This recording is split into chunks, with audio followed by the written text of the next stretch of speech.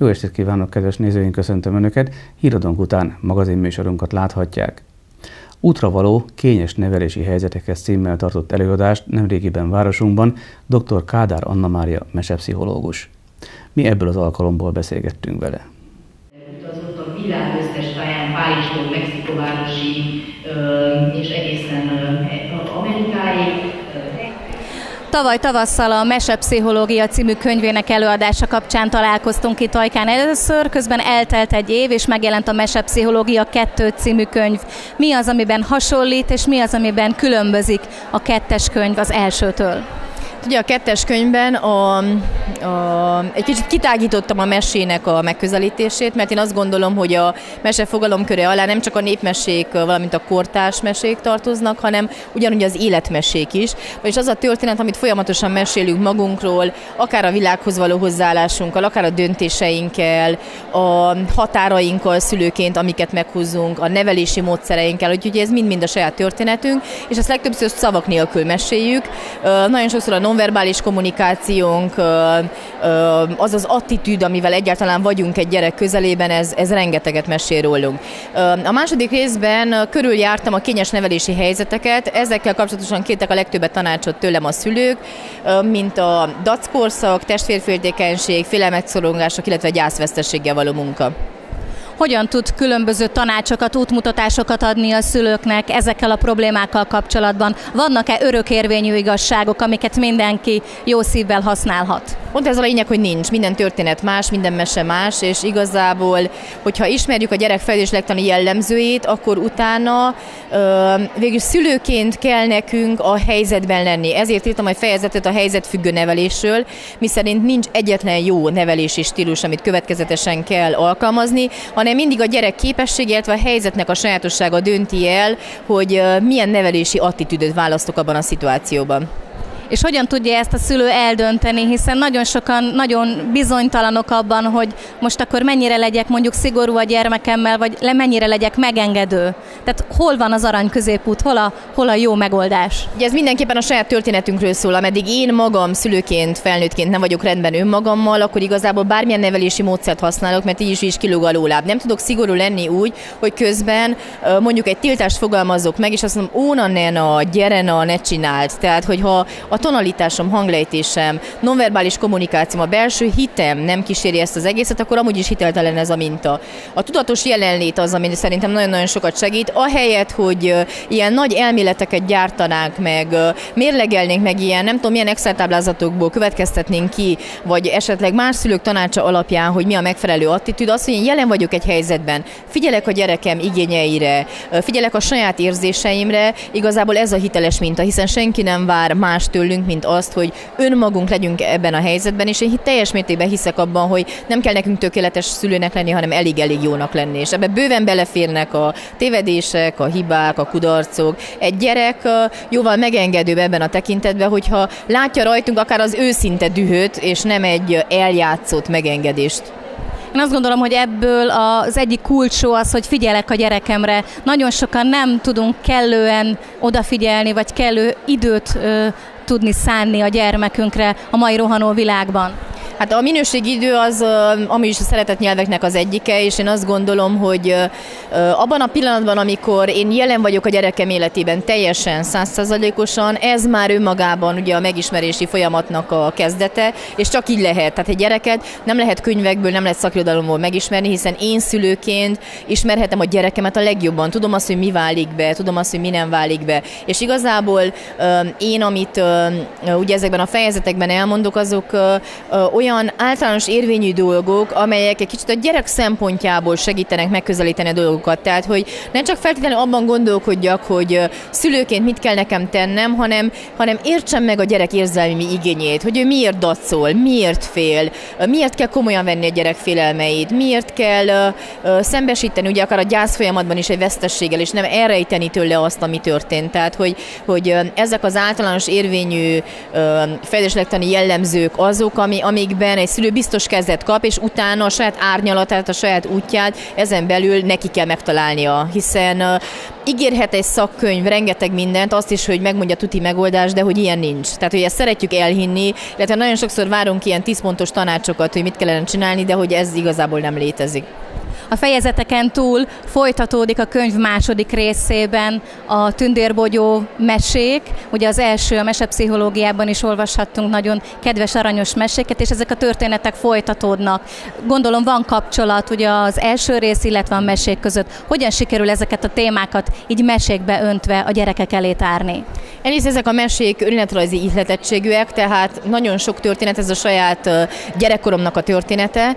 Ugye az első részben ez kizárólagos pontosan tényleg a saját önéletrajzi emlékeim. Második részben viszont már beleépítettem akár az iskolapszichológusi tapasztalatom alapján történeteket, amiket hallottam szülők által jelzett ilyen gyereknevelési problémák kapcsán, illetve az érzelmi igényeket, mert azt, hogy, hogy a gyerek mit csinál, amikor fél, amikor ugye el kell engednie valamit, amikor minőségi időt akar tölteni a szüleivel, ezek mind-mind olyan témák, amiket jó egy kicsit gyerekszemmel, gyerekfejjel is feldolgozni, és igen, ezek a történetek folytatódnak, tehát a, a Lila mesepszichológia első részében, ugye a tündérbogyó elbúcsúzott, én akkor azt is gondoltam, hogy lezárom ezeket a történeteket, csak annyi visszajelzés érkezett a gyerekektől, szülőktől, hogy mikor fog folytatódni, úgyhogy egy kicsit úgy jártam, mint a Dallasban, amikor Bobby meghalt, és fel kellett támasztani, tehát hogy valahogy én is vissza kellett hozzam tündérbogyot, talán ez volt a legnehezebb, hogy hogy jöjjön vissza tündérbogyot, aztán megkaptam ennek a módját, úgyhogy igen. És sőt, most már majd a harmadik részben is fognak folytatódni ezek a történetek, mert most már az készül.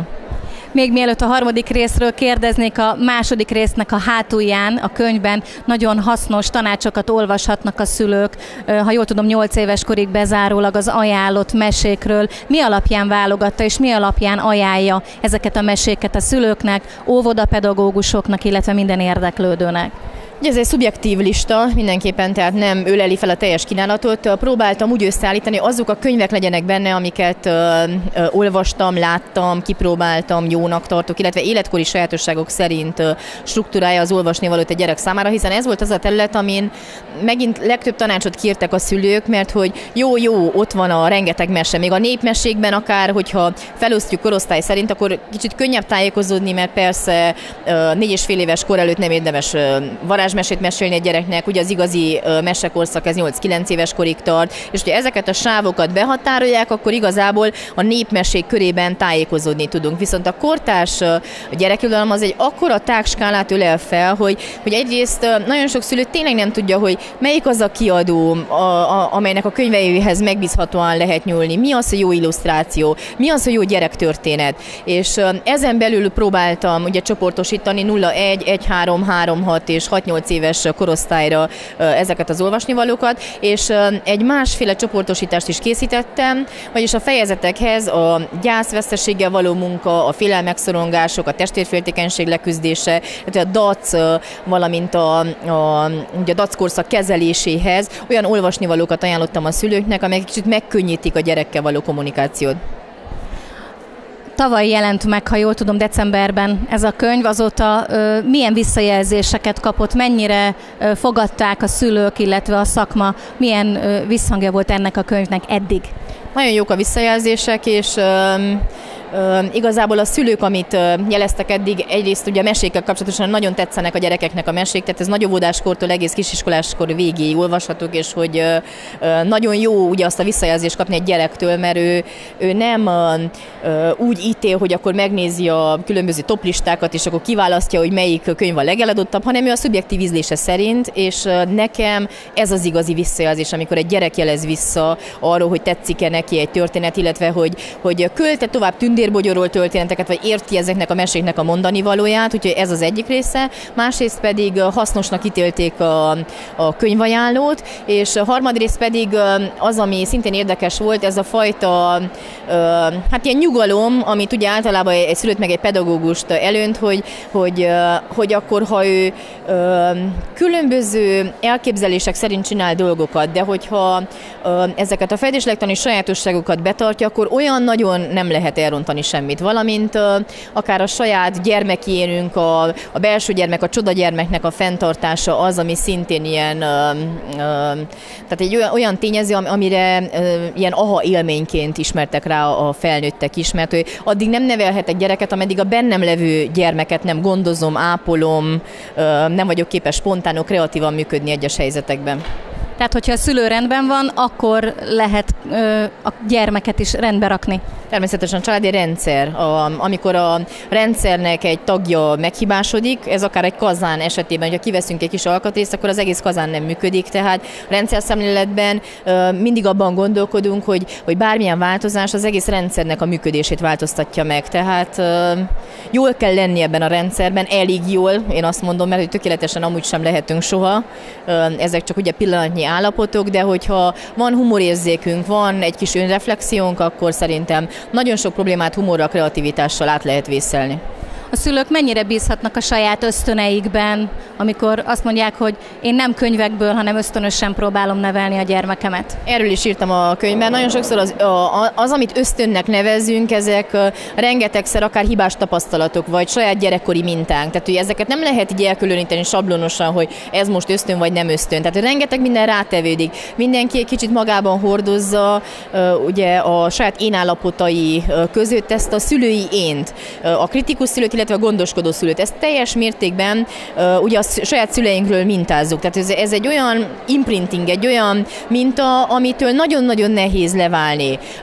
Az, amit a, ugye akár az anyatársak mondanak, a szomszédnéni mond, a média, a sok olvasnivaló, ugye, amiben rengeteg ellentmondásos információ van, nagyon sokszor ezek egymásra tevődnek, és az, amit ösztönnek nevezünk, az nem biztos, hogy tisztán az. Természetesen, hogyha tényleg eljutunk erre a szintre, hogy, hogy ráérzünk bizonyos dolgokra, mert igaz igazából egy gyerekre tényleg figyelni kell, mert hogy a temperamentum típusának megfelelően nekem végig szülőként alkalmazkodnom kell. Tehát ezért nem is működnek a minták, mert hogyha ott van egy könnyű temperamentumú gyerek, aki átalussza az éjszakát, és aki eszik és mosolyog, hát azzal nem kell különös nevelési tanácsokat osztogatni, mert amúgy is a szülő ösztönösen jól csinálja. Viszont, hogyha elkezd tanácsot adni a, a, annak az anyukának, akinek nehéz temperamentumú gyereke van, átsít mondjuk egy évig, majdnem minden éjszakát, az anyuka kialvatlan, azt se tudja, hogy mit csináljon ebben a helyzetben, akkor igazából itt csúsznak el a dolgok. Tehát, hogy hiába mondja, hogy én ösztönösen jól csinálom, és akkor te valamiben biztos tévedtél, te gyereked ilyen, nem, ezek vele született sajátosságok.